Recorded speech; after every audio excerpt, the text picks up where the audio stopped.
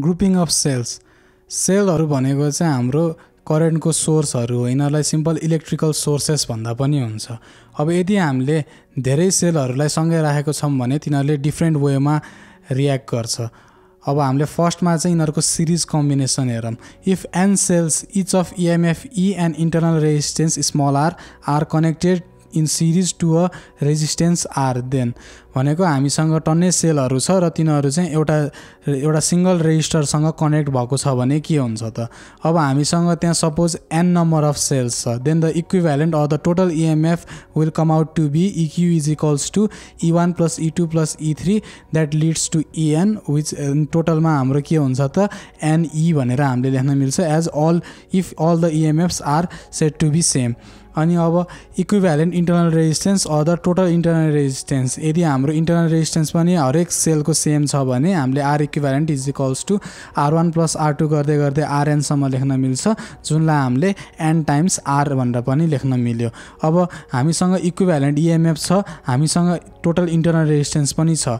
भनेपछि from Ohm's law we get the formula that total current in the circuit I I equivalent is equals to E equivalent divided by R equivalent अब total resistance त कति भयो त? हामीसँग बाहिर पनि एउटा एक्सटर्नल रेजिस्टेन्स छ क्यापिटल आरको र अरू सबै चाहिँ इन्टरनल रेजिस्ट रेजिस्टेन्सहरू हो जुन चाहिँ त्यो रेजिस्टरसँग सिरिजमा छ।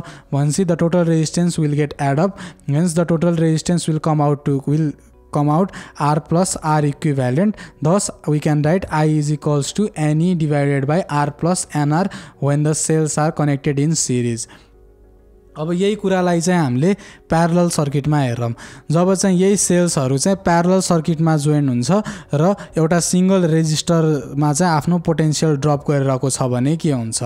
If n cells each of EMF E and internal resistance are are connected in a parallel parallel combination to a resistance R then equivalent EMF के हुने भयो त? यसमा त प्यारल सर्किटमा त इएमएफ जहिले पनि सेम हुन्छ so E equivalent is equals to E नै हुने भयो। अब हाम्रो इक्विभ्यालेन्ट रेजिस्टेन्स के हुन्छ त? जब रेजिस्टर्सहरू चाहिँ प्यारलमा हुन्छ यहाँ चाहिँ इन्टरनल रेजिस्टेन्स र त्यो हाम्रो जुन ठुलो रेजिस्टर छ त्यो रेजिस्टेन्स चाहिँ केमा छ त? हाम्रो प्यारलमा छ। त्यही प्यारलको कारणले चाहिँ फर्स्टमा त्यो इन्टरनल रेजिस्टेन्सलाई हेरौँ। यिनीहरूको चाहिँ टोटल रेजिस्टेन्स भनेको inverse of the individual resistance हुन्छ भनेपछि one by R equivalent equals to one by R one plus one by R two गर्दै हामीले वान बाई आरएनसम्म जान्छौँ। यदि सबै रेजिस्टेन्स सेम हो भने हामीले यसलाई एन बाई आर लेख्न मिल्छ। जहाँबाट R equivalent is equals to R by n भनेर हाम्रो टोटल इन्टरनल रेजिस्टेन्स आएको छ। अब हाम्रो total resistance in the circuit के भयो त? यो इन्टरनल रेजिस्टेन्सहरूको हामीले इक्विभ्यालेन्ट रेजिस्टेन्स लिइसकिसकेपछि यो त हाम्रो बाहिरको एक्सटर्नल रेजिस्टरसँग त सिरिजमा छ भनेपछि I is equals to V by R भनेर हाम्रो फर्मुला भयो जहाँ भी भनेको ई भयो र आर भनेको चाहिँ हाम्रो त्यो बाहिरको रेजिस्टरको resistance plus small r divided by number of number of internal resistances भएको छ। अब जब हामीले यो प्यारल सर्किट र सिरिज सर्किटलाई मिक्स गर्छौँ त्यस्तो ग्रुपिङलाई हामी मिक्स्ड ग्रुपिङ भन्छौँ।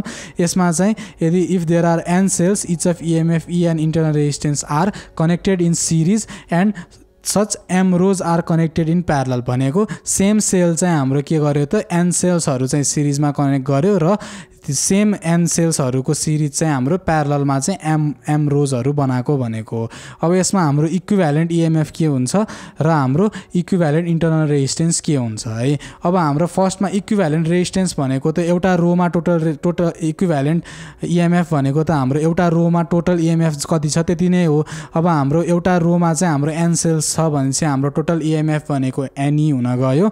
अब इक्विभ्यालेन्ट रेजिस्टेन्सको लागि चाहिँ हाम्रो फर्स्टमा एउटा सिरिजमा हामीले हेर्नु पऱ्यो सिरिजमा हेऱ्यो भने हाम्रो टोटल रेजिस्टेन्स कति हुन्छ त? एनआर हुन्छ। तर अब त्यही त्यो सिरिजमा भएको टोटल रेजिस्टेन्स एनआर त हाम्रो प्यारलमा त एमरोजहरू छ। एमरोजहरू छ भनेपछि हामीले त्यसलाई टोटल रेजिस्टेन्समा लाने बेला हाम्रो टोटल रेजिस्टेन्स प्यारल सर्किटमा आएको छ। एनआर डिभाइडेड बाई एम भनेर। है लास्टमा चाहिँ त्यहाँ हामीले नम्बर अफ रोजले डिभाइड गरेको छ। अब हामीले टोटल करेन्ट इन द सर्किटमा जाऊँ। टोटल करेन्ट भनेको I equals to V by R भयो। यसमा टोटल पोटेन्सियल भनेको हाम्रो एनी आएको छ र टोटल रेजिस्टेन्स चाहिँ हाम्रो के भयो त? त्यो हाम्रो सिरिज र प्यारल सेलले ल्याएको रेजिस्टेन्स भनेको एनआर बाई एम भयो र बाहिर पहिलेदेखि एउटा एक्सटर्नल रेजिस्टेन्स छ जुनको भ्यालु हामीले त्यहाँ क्यापिटल आर भनेर लेखेको छौँ र यो इक्वेसनलाई हामीले I is equals to m times nE divided by mR plus nR लेख्न मिल्छ जहाँ एम भनेको नम्बर अफ रोज अथवा number of cells in the parallel combination र एन भनेको चाहिँ number of cells in the series combination भन्न मिल्छ।